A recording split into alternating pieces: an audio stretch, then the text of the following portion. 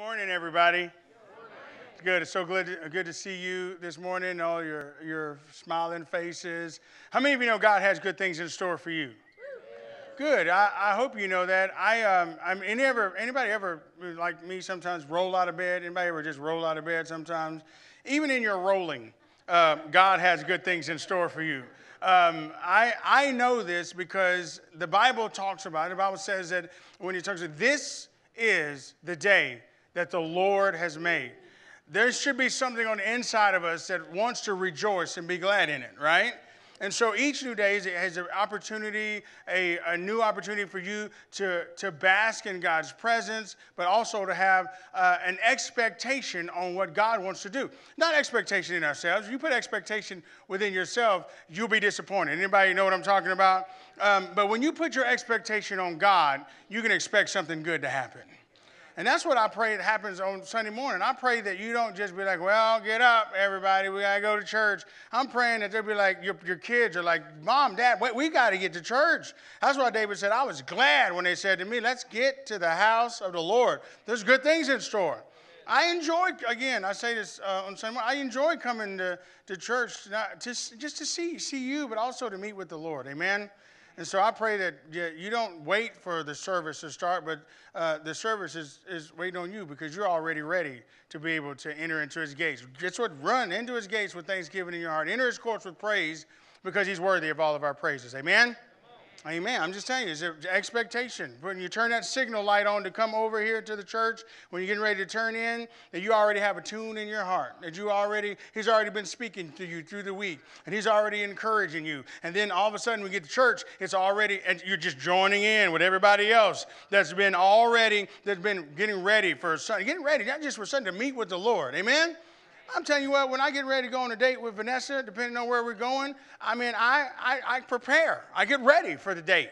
You know, I mean, I, I spray that cologne into the air and I walk into it like it is the glory of God. You know what I'm saying? I walk into it. I mean, I, I spray it and she be like, that's too much. I'm like, girl, I want to smell like romance. You know, she's just like, you smell like, you know, anyway. So, um, but I'm saying I get ready for it. Anybody else, you get ready? Anybody turn on tunes before you get worship, before you come in? Uh, come in, turn on worship. Like, man, I'm ready. We're getting ready to meet with the Lord. We're getting ready to worship. We're getting ready to have a time, a, a great time in God. So prepare for that. And and I'm telling you, eh, I'm telling you, when you come to church, you can do it as a check off your list and say, I've gone to church, or you can say, like in the black community, like we had church today. Anybody know what I'm talking about? And some of y'all don't know what that means, but I'm gonna go ahead and explain it to you when somebody says uh, that we have had church, it means, anyway, I'm just saying, it's, it's expectation.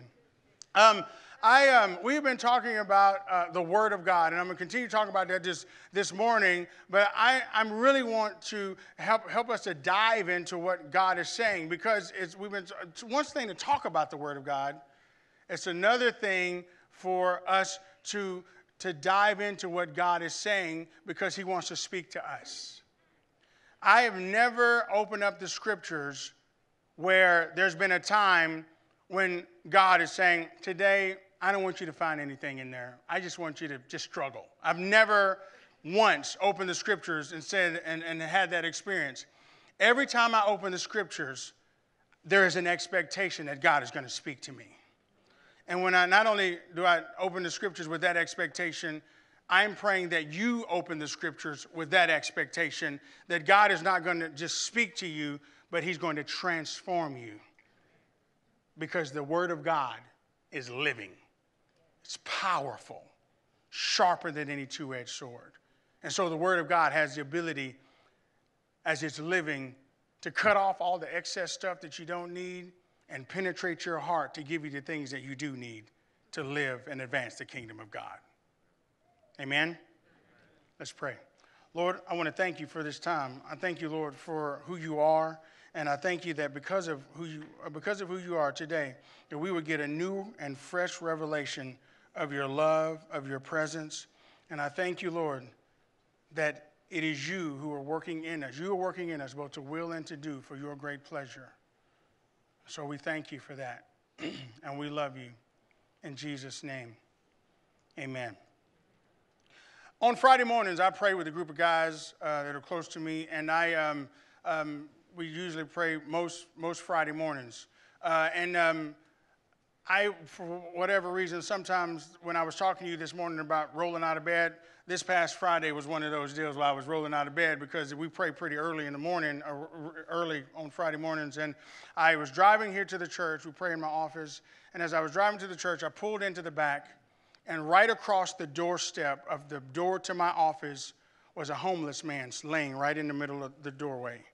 And the only reason why he was there is because it was very windy and it was cold, and he wanted to get out of the wind and, and get out of the cold. And so I thought to myself, I've never seen this before.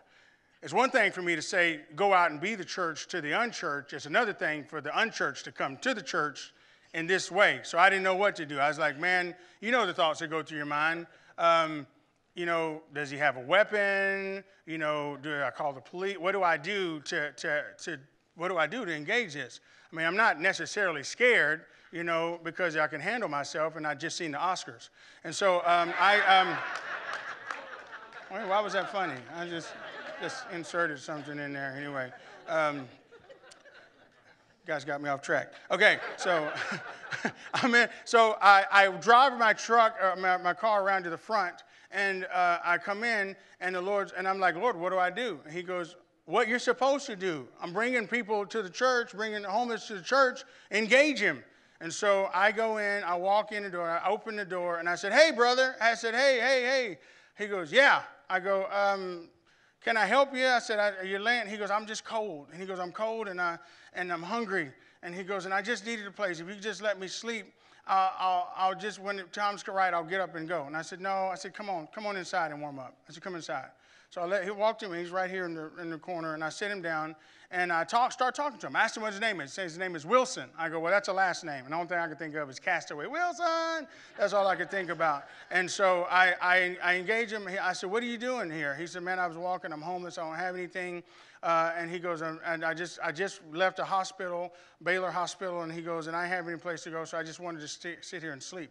And I said, well, let's talk. And I said, what, what can I get you? And so I, he said, um, I, if you give me a blanket, I'll be on my way. And I said, Well, I don't have a blanket. I said, But I do have a jacket. I have a coat that's here in my office, and you can have that. And um, I, I, hadn't told Vanessa that I had given my coat away because she had bought it, and it's safer for me to tell her, say that up here than me to say it next to her. But I'd given my jacket to him that Vanessa had bought for me to go over my suit. And I just said, Do you know Jesus? Uh, his name was Sal Wilson. He goes, You know, I know Jesus, but I don't know Jesus. And he starts laughing. And I just said, Well, you can know Jesus. I said, I want, I want to pray for you. And he said, Well, I just got out of an insane asylum. He goes, I've been in this insane asylum. And he goes, And I, he goes, I don't know. He goes, Nobody wants to hear anything I have to say. I said, Well, not, not only that that's wrong, I said, but not only that Jesus knows exactly what you're going through, and I want to pray with you. So, right then and there, right in this couch over here, I prayed with Sal. And I didn't know what to pray because I didn't know a whole lot about him. But I just started praying the word of God over his life. Lord, would you, would you grant him the peace of God that surpasses all understanding? Will you help him to have the mind of Christ, Lord? Did you change his mind? I know he came out of an insane asylum, but you can give him the mind of Christ. I pray, Lord, that you would guard and rule his heart and mind through Christ Jesus. You would cover him, you would protect him, you would bring him to the bleeding side of Calvary so that you can help him to do what you've called him to do and be who you've called him to be. And I pray, Lord, that you would surround him not only with your angels, but surround him with the hope that does not disappoint. So I just began to pray the word of God over him, and you could feel all of the anxiety and all of the pressure just lift off of him. And all of a sudden, he calmed down and he looked in my eyes and he just said, Thank you. He goes, If you give me that jacket, I'll be on my way. And I, I gave him the jacket and he walked around the corner. And I never saw, I just walked up, just said, walk away. And I just was like, Lord, thank you for your word that's alive. It's active, it's powerful. Sometimes we don't even know what to pray. You can pray the word of God because the Word of God will cause you to tr- be transformed, even when you don't necessarily. Sometimes I don't even know what to pray. I just pray the Word because the Word is able, the engrafted Word of God is able to save our souls. And so when you read the Word of God, so I'm just talking about just reading it, but I'm telling you, it causes, because God says that He watches over His Word to perform it. He didn't watch over my Word very well, but He watches over His Word to perform it. And so sometimes we don't even necessarily know what to do. You can pray the Word and the word of God on your situation causes there's transformation. Amen. The Bible says, Be not conformed of this world, but be ye transformed by the renewing of your mind. How do you renew your mind? How do you make new your mind? With the word of God. You want a new mind? You want to set your mind on things that are above? These are scriptures that I'm quoting, by the way. You set your mind on things that are above and not on the things of the earth?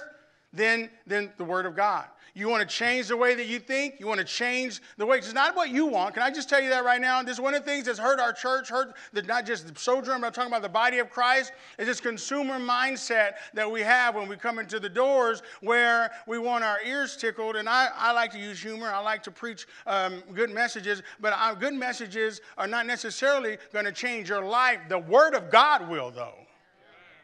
The Word of God will change you, it'll transform you. I don't know anybody that's growing as a disciple of Jesus who is not engaging in the Word of God. Somebody like somebody, well, you, going to church, I love that we go to church. We, but again, we're talking about going to church and being the church are two different things. But if you want to grow as a disciple, you want to grow as a follower of Jesus, the Word of God causes that to happen in your life. I mean, I don't know any way. I wish I could hook you up to a wire. I wish I could hook you up to some wire. And all of a sudden, after 10 minutes, and then all of a sudden I go, all done, and you had like 50 scriptures inserted into your heart and into your mind. I wish I could walk up behind you and hit you in the back of the head of the Bible. Poof. I know in whom I have believed that he is able to keep that which is committed to me against that day. I wish that all of a sudden I got, but it's not. The only way I can tell you that the word of God can get in your heart and change you is for you to open it up and read it. To engage the Word of God. Let me say that differently. Not just for you to engage the Word of God, but for the Word of God to engage you. Not for you to read, just read the Word of God, but for the Word of God to read you. Because the Word of God is able to do that. The Bible says it's quick, it's powerful, it's alive, it's sharper than any two edged sword, even to the piercing of the division of the soul and the spirit between the joints and the marrow, and is a discerner of the thoughts and intents of the heart. It's, it, you can put your life up against the Word of God and say, it can discern. I know, I think my heart is this, but here's what the Word of God says. I believe my mind thinks this, but here's what the Word of God says about it. I believe this, this is what the Word of God says. And that's why I said two weeks ago, talking about the Word of God. That's why I was talking about the plumb line. What do you believe about the Word of God? Do you believe that it's just black ink on white paper? Or do you believe that the Word of God is alive? And do you live your life not by bread alone, but by every word that proceeds out of the mouth of God? Every word that proceeds out of the mouth of God. Not what you think, not what your emotions are, not what your situation is, not what your circumstances says, not what the doctors have said, not necessarily, not all those things. And it may be fact, it may be, it looks like it's truth, but there's a higher truth, and that's the Word of God. That's why I'm asking these questions. As we talked about this a couple of weeks ago, the Bible says things about homosexuality. The Bible talks about um, it talks about the fact of adultery. It talks about lying too. It talks about all sins. We try to categorize sin. Sin is sin. We believe it's wrong. And if you're struggling with any of those things, I said that a couple of weeks ago, you're struggling with same-sex attraction, you're, same, you're struggling with any of those, those sins that the Bible says is wrong, we want to help you. We don't, we don't want to leave you in that place because we believe the Bible is, is, is, is, is living and is able to transform you and change you and help you and to grow. I'm glad I'm not who I was 10 years ago. Aren't you glad about that? Aren't you glad that you weren't who you were 20 years ago? Aren't you glad about that? Some young people are like, I'm not even 20. Yeah, well, just be glad you, you know, we're not the same as you were yesterday. right? You will change. But God is able, He helps us. He, he walks through, He walks. I'm so, so glad that the Word of God changes us. That's why it's important for us to, what is the standard in the church? What's the standard for us? What has God called us to do? How are we going to live in this postmodern, post Christendom world? What is, the world's, what is the world system? What is God's system? The kingdoms of this world are becoming the kingdoms of our God. And he's advancing his kingdom through his word. And if that's the case, how, how are we going to walk according to the scriptures and according to the word of God? Because your emotions will be all over the place. You could turn on CNN for five minutes and your emotions can go up and down and sideways. And I'm you know I'm telling the truth, right? I can watch one segment of, anyway, I'm not going to say, anyway, I can watch some, uh, and, and my emotions can be all over the place. And the Word of God will settle me because His Word is forever settled in heaven. I didn't make that up, that's scripture. So, is that a challenge this morning for us as the church? Where have we gotten off? Where, I'm, I'm, ta- I'm talking to all of us. I'm talking to those of you that are online, those of you may be scrolling. I'm talking to all of us. Where have we gotten off the scriptures? Who moved the goal the goalpost? When, the, when, when Paul said to live as Christ and to die as gain, to gain him, who, who moved that being the goal? To live for Christ and what his word says. Now, I know this isn't one of those messages where you be like, preach, Pastor. It's all right. This is important for the body of Christ and where we are today. Are we going to live according to the word, or are we going to live according to the world systems? If you have your Bibles, turn to Acts chapter 2. I'm going to give you a little bit of meat this morning. And so, Acts chapter 2, we're going to, I'm going to cut in. I know this is what you're not supposed to do, but I'm going to cut in to one this is Peter's, this is Peter's sermon. Peter's sermon as he's, as he's talking uh, and preaching, the Holy, for you don't know, the Holy Spirit has come. Holy Spirit's come on all of the, uh, uh, the, the, in the upper room. They begin speaking in other tongues. The Spirit of God is there, and they and other people have seen this this commotion because the Spirit comes in like a rushing mighty wind, and they go, "These people are drunk."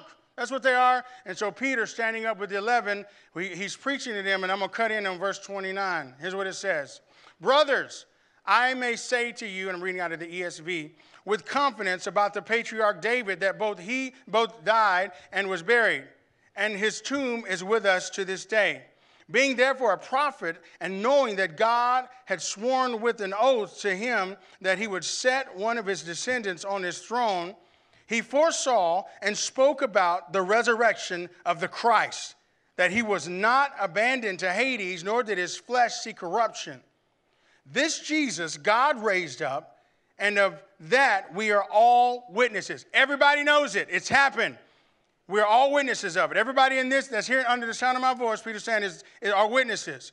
Being therefore exalted at the right hand of God, and having received from the Father the promise of the Holy Spirit, he has poured out this that you yourselves are seeing and hearing. For David did not ascend into the heavens, but he himself says, The Lord, Father, this Amplified says this, said to my Lord, the Son, sit at my right hand until I make your enemies your footstool. Now here is here is the crescendo. Every pastor, every preacher has a crescendo in their message where they're trying to drive a point home.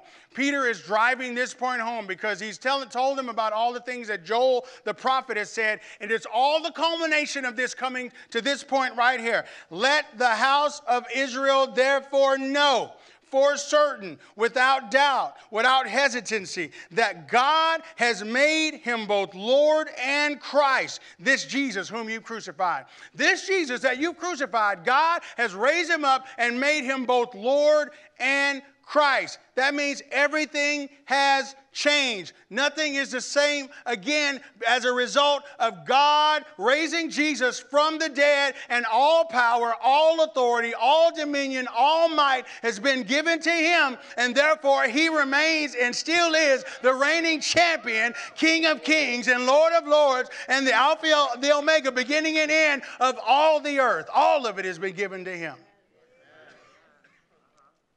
And because of that, everything has changed. Now, I want to tell you this there's some things that have changed in history.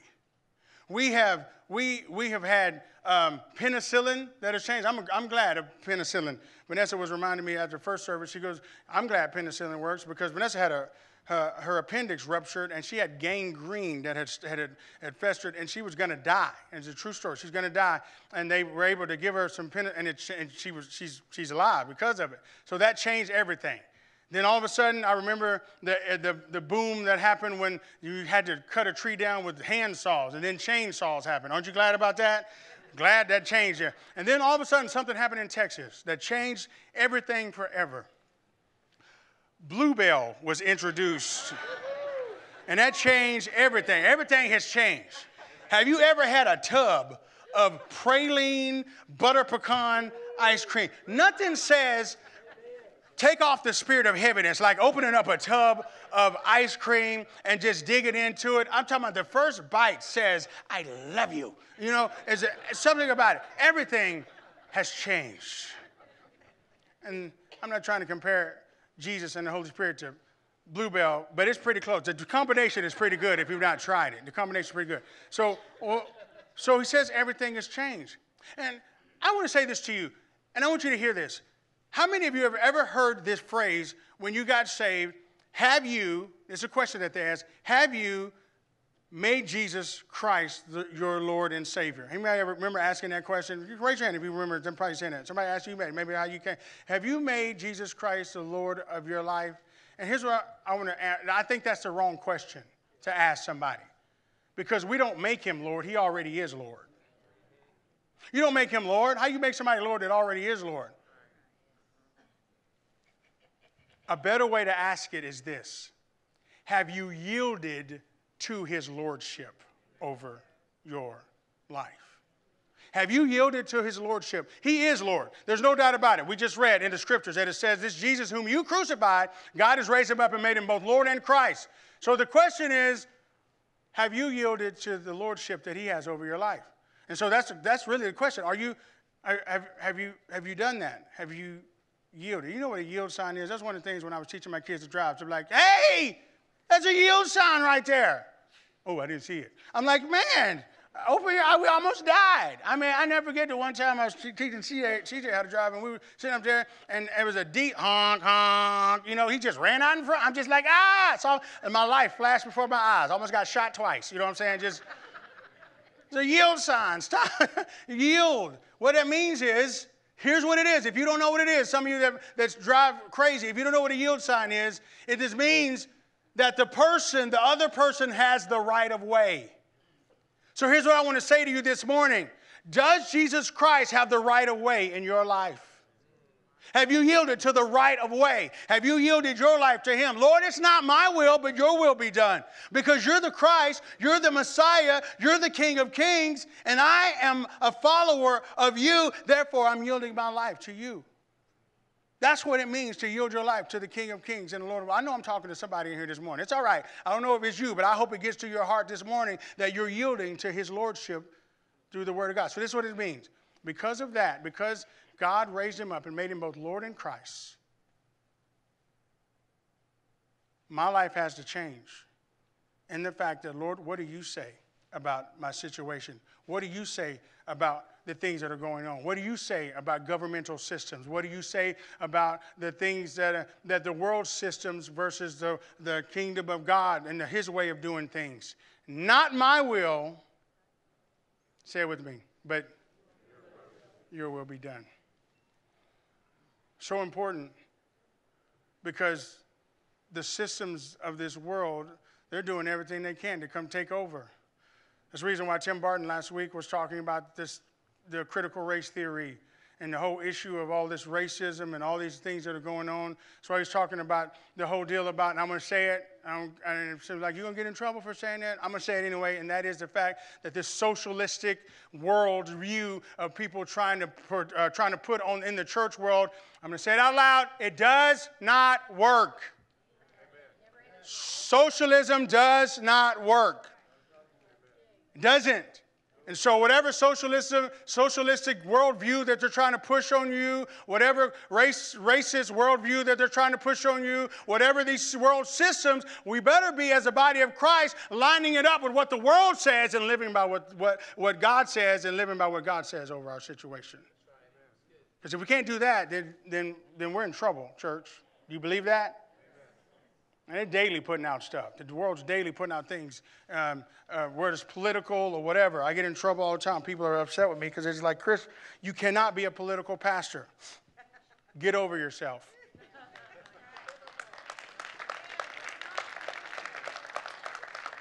Get over yourself. I'm going to be because there's a reason why we're in this mess like we're in right now because the churches and pastors have been silent on issues, and I am not going to be. We are not going to be. We're going to be loud about it. We're going to talk about it. We're going to talk about what the world says about it. We're going to move in God's ways about it. And I am tired of the church shrieking back when we should be stepping up and stepping in. I'm tired of us going, shh, man, be quiet. You're not supposed to do that. It's time for the church to get loud. Hey, murder is wrong when you're murdering innocent children. It's wrong. I don't care what, but it's, but it's a baby, but what about, I'm telling you, what does the Word of God say? Either we're going to live by His Word or we're not. We're going to live by the Word of God. If you come to this church, we are.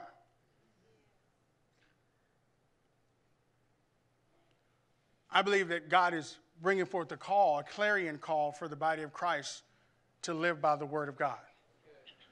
And so that's why Peter says, Know for certain that this God, this, that, this Jesus that you crucified, he's made him both Lord and Christ. And as a result of that, everything has changed. Your prayer life needs to change. The way you read the word changes. Everything changed because of the result of him being Lord of your life. So therefore, when I get in the word, I'm not just reading scripture just because it's obligation. I'm reading scripture to engage the word because Jesus is the word. I want to find out what he says about my, what's going on in my life. That's what I'm doing. I'm opening the scriptures. I want to learn. I want to learn how to open the scriptures and find out. What it, when I first met Vanessa, I wanted to find out who, who she was. I asked her friends, hey, who is that? It's that girl over there. Oh, that's Vanessa? I go, I know that, but let's tell me a little bit about her.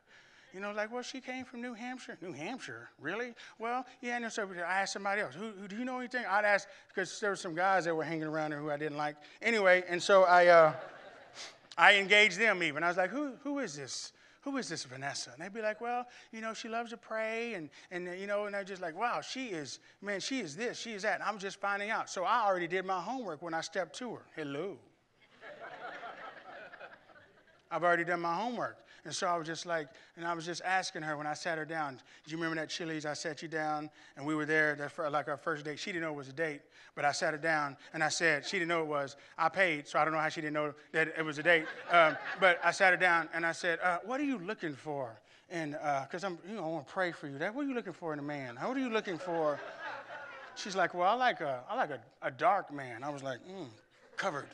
She goes, I like a man with big shoulders. I want you know what I'm saying? She goes, I like, I like somebody who, who, who is engaged in the word. I'm like, in the beginning was the word, and the word was God, and the word was with God. I was trying to fit, I was trying to get, I was, man, I'm trying to get, because I'm trying to find out who she is. Now, I love the fact that, that you're laughing, but here's what I want to say to you. If you love Jesus and you know, you want to find out what he says about you and what is going on in your life, engage him through his word.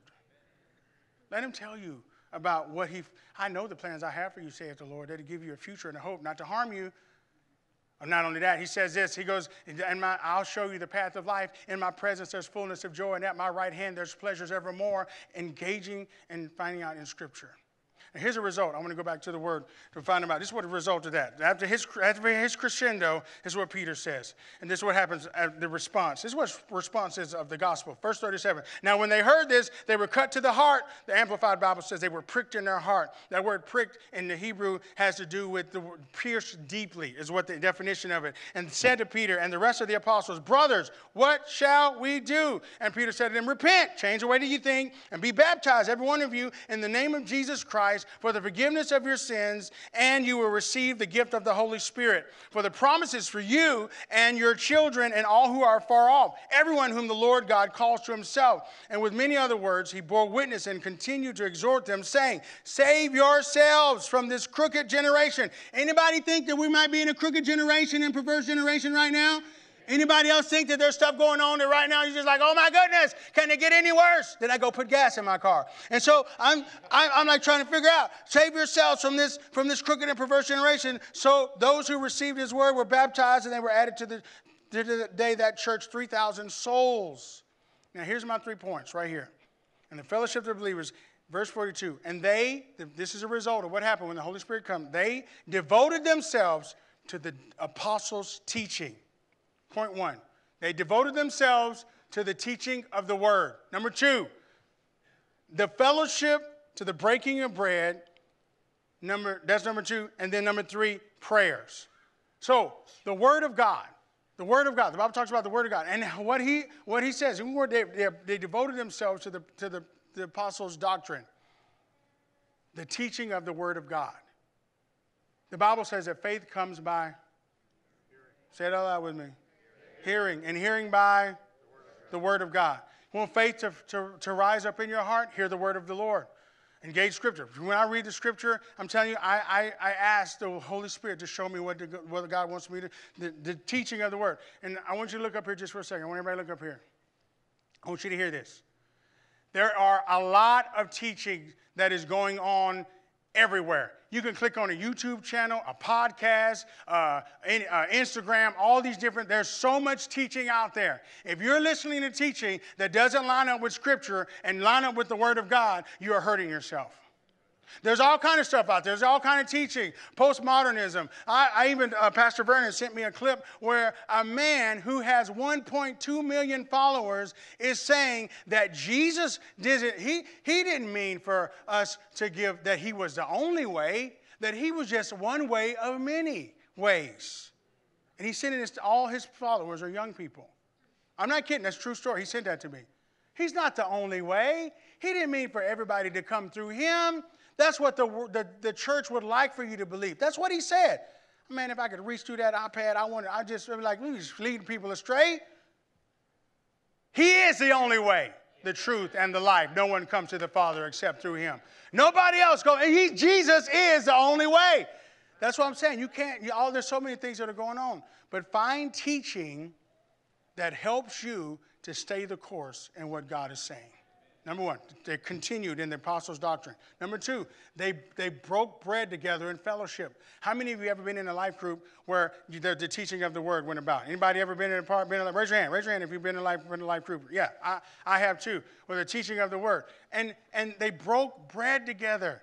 Some of the best life groups that we ever had in this church was around food. right? I would love, I would come and hear a, a, teaching on Revelation or whatever it is on Revelation. If you would teach, if you would teach me also how to cook brisket and and and and some mashed potatoes. And so you know what I'm saying? Just I mean, all of a sudden I feel called to your life group. I feel the Spirit of the Lord drawing me to this place right here. I smell the Spirit of the Lord in this place. Some of you be like, I feel His presence. I go, hmm, I smell it. When do we eat? You know, I, am just telling you, breaking bread together, fellowship, koinonia is what the word is used when it talks about fellowshipping together because I have a perspective, Vanessa has a perspective, Pastor Kevin has a perspective, and different one have a perspective. And when I come together with saints and believers with, that are like-minded, that are trying to dive into the scriptures together, I can get a better and more full understanding of what God is saying. So if you're alone right now, you're not in a life group, which we're starting, getting ready to start our life groups back up. You, you're just like, man, I've gone to church, I've done that. I'm telling you, you need to be a part of a believing system, a body of believers that believe the same thing, that can help pray for you and help you get engaged in what God is saying. And the last one is prayer. Here's what I'm going to say about that. The last one has to do with prayer. I don't open the scriptures without praying. There's no way that when I, when I get ready to engage the Word of God, I pray. Here's what I pray. This is a prayer I pray every time when I open the scriptures by myself. I say, Lord, would you help me to see what you want me to see today. Holy Spirit, open my eyes, open my heart, open my ears, so that when I read your word, when I read this word today, that it's not just black ink on white paper, that it's not just something that I'm reading just to be leisure. I'm praying, Lord, that the words would dance off the page and right into my heart. I'm praying, Lord, that you would give me something, show me something, because you said in your word, if call to me and I will answer and I'll show you great and mighty things that you know not of. So that's what I do when I, I ask the Holy Spirit to open my eyes when I read the scriptures. Now, you can thank my wife for this. Vanessa said, honey, and she's learned, she says, I, I love, love listening to you preach and you give us really good stuff. She goes, but it's really good if you give us some practical applications on how you engage the scriptures. So you can thank my wife for this. So this is what I came up with. Number one, that was the first one. Pray. When you open the scriptures, pray. If you're taking notes, you can, you can write this down. Pray and ask the Holy Spirit to, to open your eyes so that you can see it. Number two, uh, I said also, get in a life group or a group that has to do with um, uh, the scriptures. Um, I asked a group of guys, and they're, they're going to start this up, I, to, to start a Bible study. And they go, What do you want us to do? I said, I want you to teach a Bible study that has to do with taking the cellophane off the Bible all the way to re- learning how to engage Scripture. Because the Bible says that he meditates on, this, on the word day and night shall be like a tree planted by the rivers of water that brings forth fruitness. Anybody want to be planted like that tree by the rivers of water? Set your mind on things that are above. I'm telling you, the Bible, Bible has to do with that. Number, number three, one of the things that I do, uh, uh, also, you can do this as well. There are a ton of Bible apps. There's, there's anybody, anybody, raise your hand if you got a Bible app on your phone. Raise it high. All right, put it down. Raise your hand if you use those Bible apps on your phone. Okay, I do too. They got an app for the Bible and an app and a Bible for the app. They got apps for Bibles that have apps that need a Bible that have apps for the Bible. They got all kind of stuff. They got Mantis, the Blue Letter Bible. They got the Concordance. You can you can open up uh, so many apps. There's so much help for uh, things to help you study the Bible and to really get into it. Use those Bible apps. I use them all the time to help me engage. Look up the Hebrew word, look up the Greek word, look up the origin, look up the era in which the time of the, that the scripture was written, look up the places where Jesus, I mean, all of those different things help me to get a better understanding and picture of the Bible. And then ask questions. Become an investigator when it comes to the scripture. Ask good questions when you read the scriptures. That helps you to engage the scripture. Why did Peter say that? What was Peter thinking? Why did Jesus, why was Jesus, uh, uh, why, why did he go in the temple and do that? Ask questions. And then I ask questions of people like Pastor Terry and Dudley and different ones. Um, we, I ask Vanessa, or I ask, I ask people questions like, Have you ever thought about this? Because it helps me to engage in Scripture and it helps the Scripture to engage me. Amen? Another practical, practical thing that I do, and this is, this is important. You ready for this? This is my favorite one. It helps me every time. The best thing that I do when it comes to engaging Scripture is I grab the Bible and I open it up. and I read it. And not only do I read it, but I absorb it. Not only do I absorb it because the word is not a it, it's a person. His name is Jesus because his name is the Word of God. So when you're engaged in Scripture, Jesus said, All of the scriptures that you read, they're all about me. So when you, if it doesn't point to Jesus, then you're not really engaged in Scripture. Amen?